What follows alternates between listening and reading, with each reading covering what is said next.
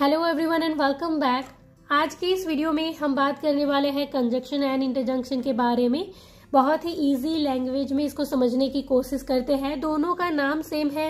इसकी वजह से कई बार बच्चों को थोड़ी सी कंफ्यूजन हो जाती है। शॉर्ट में थोड़ा सा समझ लेते हैं कि कंजक्शन हम किसे कहेंगे। Conjunction use to join a group of words मतलब दो सेंटेंस को मिलाने के लिए जो वर्ड हम यूज़ करते हैं, जैसे कि एंड बट येट और बिकॉज़ ये है कंजक्शन। और इंटरजेक्शन क्या होता है? जो हम सडन एक्सप्रेशन जो देते हैं, जो सडन इमोशन होता है हमारा, जैसे कि किसी ब्यूटीफुल चीज़ को देखकर हम बोलते हैं वाव तो और उसके पीछे जब एक्सक्लेमेटरी मार्क भी होता है जैसे ओ, वाव, इस तरह के जो वर्ड होते हैं, वो होते हैं इंटरजेक्शन कुछ सेंटेंसेस मैंने यहाँ पर लिखे हैं, इनमें से हमें आइडेंटिफाई करना है कंजक्शन और इंटरजेक्शन को. तो सबसे पहला सेंटेंस हमारा we wanted to go to the fair but it was already late तो यहाँ पर दो सेंटेंस है we wanted to go to the fair हम मेले में जाना चाहते थे बट लेकिन इट वॉज़ ऑलरेडी लेट हम ऑलरेडी लेट है, देर हो गई।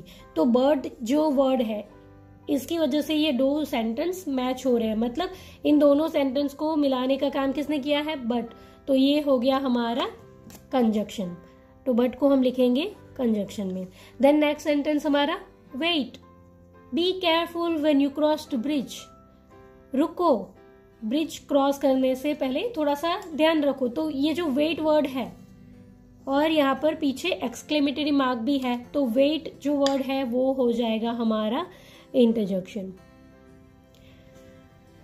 the rivers dried up because there was no rain नदी सूख गई क्योंकि बारिश नहीं हुई तो बिकॉज़ वर्ड जो है वो हो जाएगा हमारा conjunction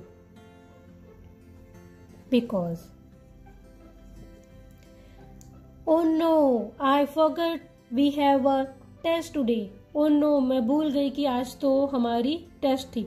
तो ओ नो जो वर्ड है, ये एकदम सडन एक्सप्रेशन है सडन इमोशन है। इसके पीछे एक्सक्लेमेटरी मार्क भी है तो ये हो जाएगा हमारा interjection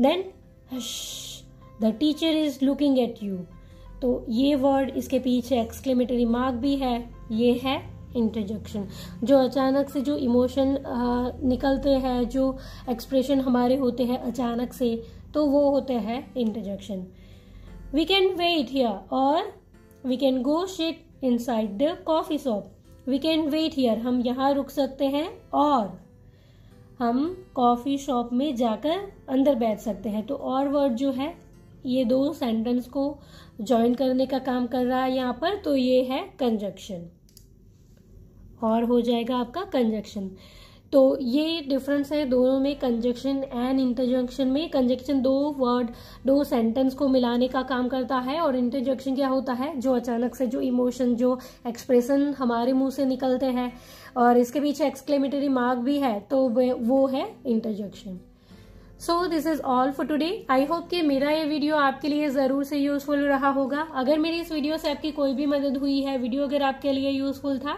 तो इस वीडियो को लाइक और शेयर ज़रूर करिएगा। चैनल पर नए हो तो सब्सक्राइब कर लीजिए बच्चों से ही रिलेटेड और भी बहुत सारे वीडियोज़ के लिए। Thank you for watching this video bye